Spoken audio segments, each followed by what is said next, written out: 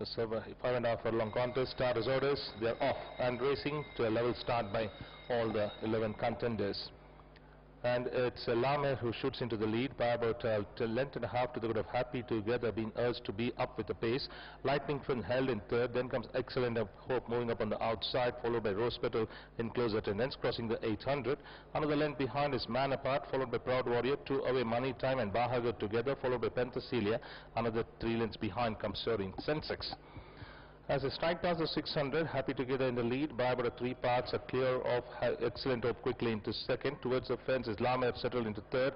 On the outside comes Lightning Fin, even more deeper out is Man Apart, followed by Rose Petal. They followed then by Money Time. Then there is uh, Proud Warrior. Inside the last two, 300 now. Excellent hope, reminded of the task, takes the charge from Happy Together. On the outside is Lightning Fin going the better of the two with Lightning Fin a neck in front of uh, Excellent Hope, followed by Happy Together. Lame finishing on. So too is on the outside is Money Time with Lightning Fin stretching out and running green is Excellent Hope, but Lightning Fin scores from a good go for the miners with three runners in a line.